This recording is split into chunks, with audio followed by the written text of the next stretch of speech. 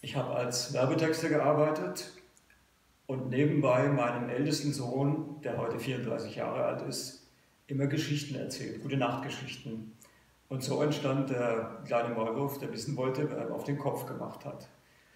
Und witzigerweise ist mein aktuellstes, mein letztes Buch, mein Jimmy, auch wieder durch ein Gespräch mit meinem jüngsten Sohn, der ist im Moment neuneinhalb Jahre alt, entstanden.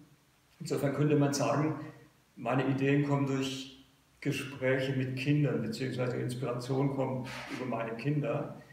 Aber viele Bücher entstanden auch durch Beobachtungen, zum Beispiel im Zoo. So entstand das Erdmännchenbuch und Schlamingo und Fein, ein anderes Buch. Ja, manchmal gebe ich mir selbst auch Themen vor, wie zum Beispiel jetzt gerade Mobbing. Und das ist dann nicht so einfach. Da habe ich das Thema und muss jetzt eine Idee dazu finden. Und da beißt man schon mal so ein bisschen in die Tischplatte. Also da kämpfe ich jetzt schon seit, seit einiger Zeit äh, mit, gerade mit diesem Thema, ohne dass mir die große Idee bisher kam.